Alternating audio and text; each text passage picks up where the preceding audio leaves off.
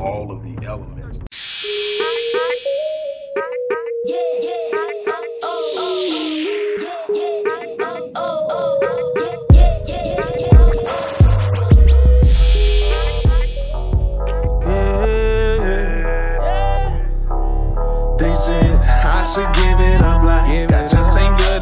Hello, everybody. Dr. Rick Wallace here, dropping in with a little special announcement for those who have followed me for any stretch of time. You know, outside of the businesses that I run, like Myriad Business Solutions, the Visionetics Institute, Odyssey Media Group, I also do a great deal of work inside of the inner city communities uh, in Houston, Dallas, and other areas. Uh, I'm asking now as we push a fundraiser that you support what the Odyssey Project is doing in the inner cities, uh, especially with programs like Black Men Lead, which is a rite of passage uh, initiative, and Restoring Ghetto for, Ghetto's Forgotten Daughters, which is a program focused on helping young girls, but boys as well, suffering from childhood sexual abuse uh, rape, molestation, domestic abuse, uh, absentee fatherhood, and so many other things. Uh, the information will be in the box. Thank you.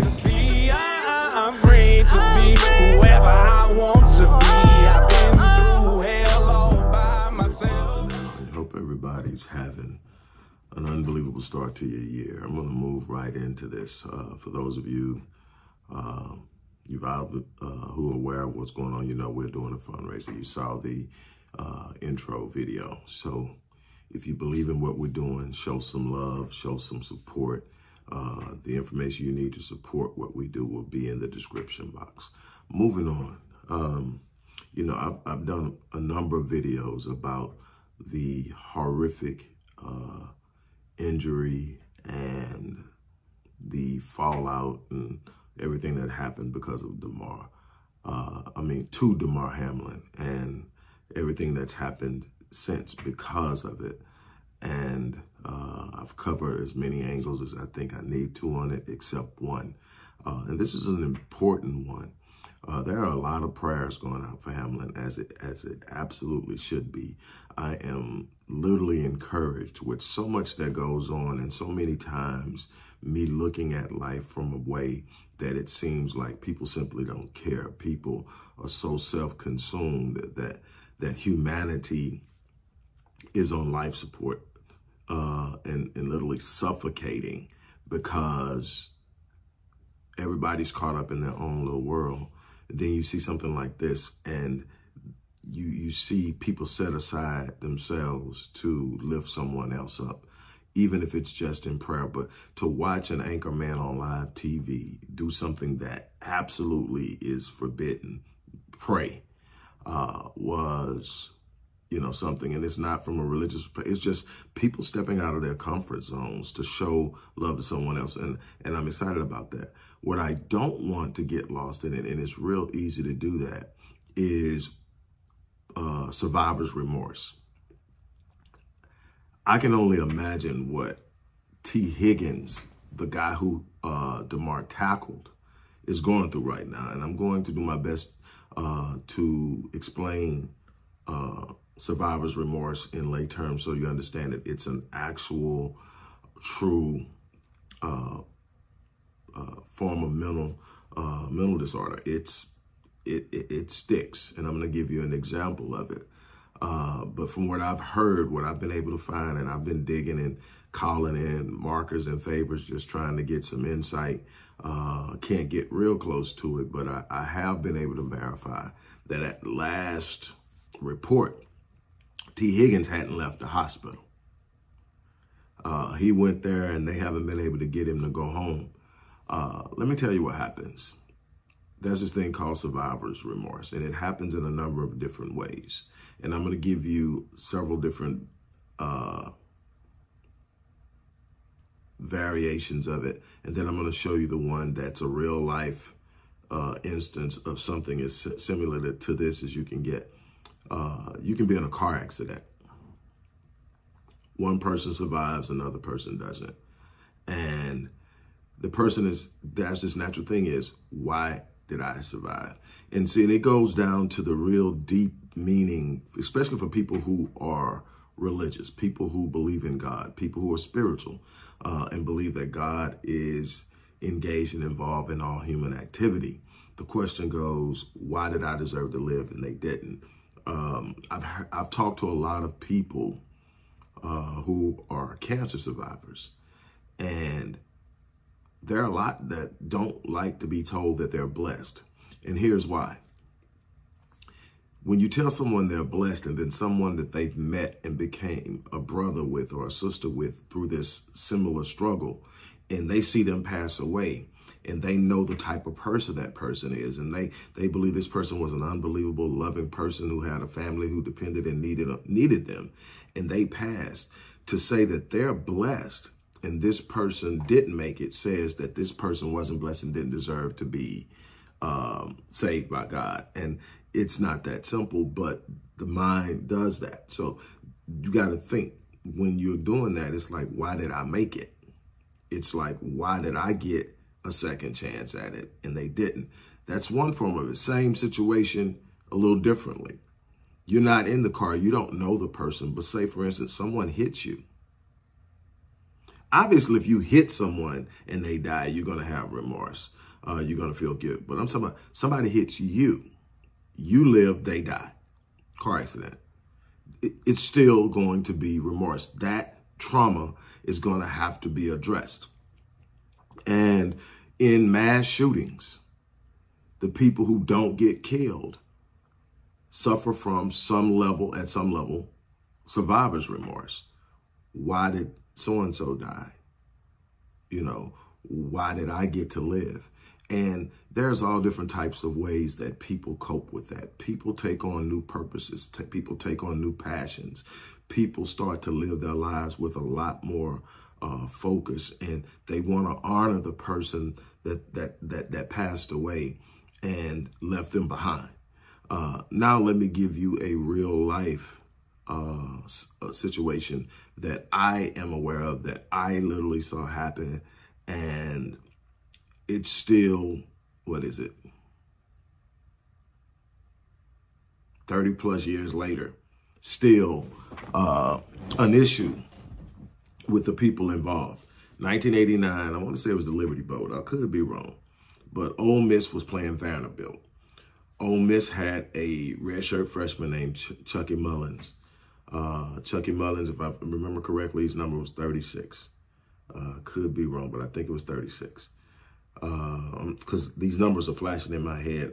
And he hit the fullback for Vanderbilt from behind. His name was Brad Gaines. The hit, you know, came together, everybody got up, walked off. Mullins didn't get up. Uh, he was eventually life flighted away. What they found was he had crushed three vertebrae up around his neck, making him a quadriplegic. Um, uh, they had to do emergency trach and a bunch of other stuff just to make sure he could breathe and save his life. Uh, less than two years later, he ends up having a uh, pulmonary embolism, blood clot in the lungs, and he rushed to the hospital, but ultimately dies in the hospital in 1991. Brad Gaines never played the game with the same passion and fervor and eventually walked away from the game prematurely. Um, he resurfaced talking about it uh, after this happened. And he's still getting treated. He's still struggling with that. Um, and so my push is we lift up Tee Higgins too uh, because there are some things he's struggling with now. Um, you know, with him lowering his shoulder. And um, for those who didn't see the video before, uh, I've consulted a couple of cardiologists because I want to know with, with all the stuff that's going on with, you know what, um, I'm going like, okay, this wasn't a violent hit. What caused the cardiac arrest? Well, that's this thing called uh, from, let me see, cardodio, cardodio, commotio cardosis. Uh, and it's from blunt force, blunt, blunt force trauma to the chest uh, that creates a vibration that literally knocks out the electronic circuitry of the heart that keeps the heart in rhythm and pumping. That's why they had to 80 uh, do an 80 uh, defibrillation uh, to put put him back in the rhythm, but they were able to restore that on the field from what I'm able to gather, which is awesome.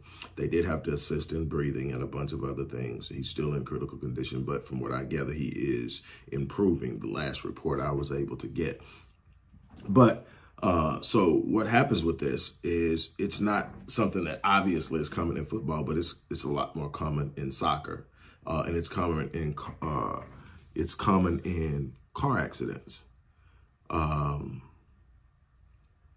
it's common in car accidents because the seatbelt is on and you're going a certain amount of hour and all of a sudden everything just comes to a complete stop with a collision and the force of your body goes forward, but the belt doesn't. So that's just compression and it's at the speed of however fast you're going. So that's a lot of force and it will do the same thing and it happens.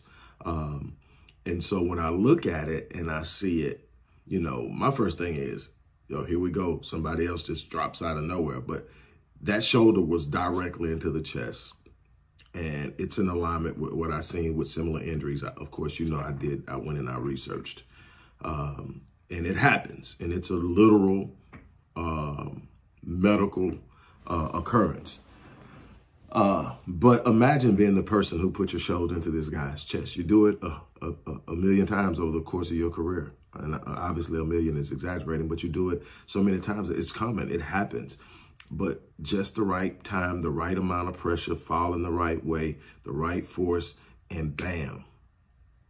And the reason it's not that common in football, again, you know, I'm I'm, I'm going to do, do look into it and examine all the angles. So when I tell you something, I'm not just something. It's not. It's never something I just popped out of my head with.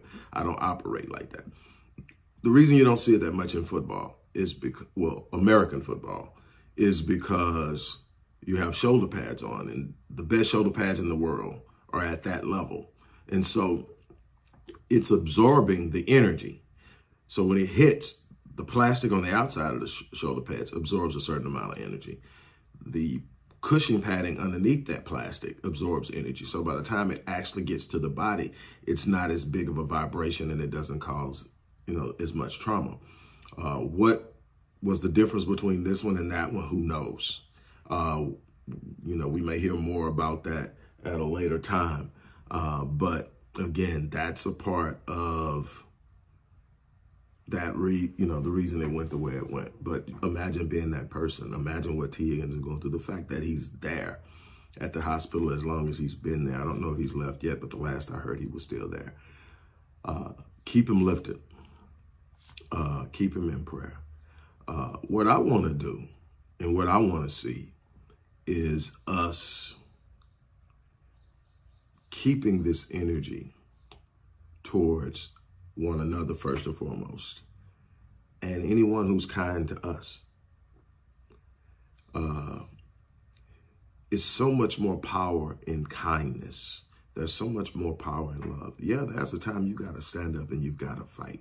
You've got to defend what is important and what's valuable to you. And you defend it fiercely, ferociously, and unapologetically. But to be healthy, there's got to be something positive coming out of you predominantly. Your whole life can't be in warrior mode. Trust me, it's destructive. You've got to find a, that's been my whole thing. The last half of last year with everything I've been through is find something to pour into. Yes, yes, we need to do this. Yes, we need to do this. But find something positive to speak on. Find something positive to do. Find something positive to get behind. And this year is even going to be more focused on love and positivity. It doesn't mean that if I need to touch somebody about something I love that I won't. I don't even have to think about it. It even it's not about anger, it's not about hatred, it's about responsibility. I'm built that way. You don't have to tell me to protect what I love. It's just going to be that way. But I don't want to walk around my whole day just filled with anger.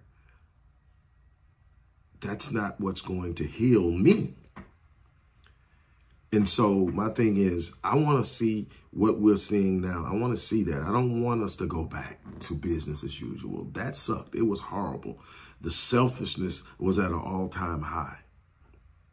This is a wake up call. So uh, that's my challenge to you, man. I just want to kind of give you some insight on it and let you know what's going on and let you know how people feel it. And then what you got to understand too, all those men that were there, those fans in the stand, all those people that watched it on are traumatized at some level. That was traumatizing. But we've been trained to set it aside and say it was jest. No, the way people were responding are telling you how traumatized they were. The fact that people in the stands were crying, the fact that people who were on opposite sides of the team spectrum were hugging and holding each other says something catastrophic just happened and we don't know how to process it. And we do what we naturally do in that.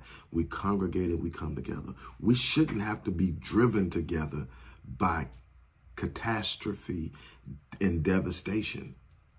We should want to seek it. We should want to create it. So that's my challenge for today. Look, I'm going to get off of here and let you guys get back to what you're doing. Uh, thank you so much for showing me love and uh, being behind me and everything that I've been through in the last year or so.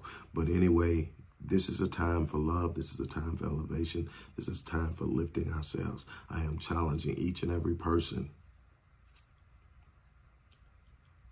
to commit to being the best that you can be this year in every way.